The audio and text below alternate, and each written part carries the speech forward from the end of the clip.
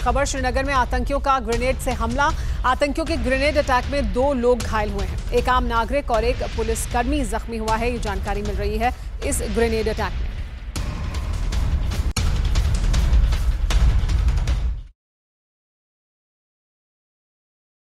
परवाह देश की।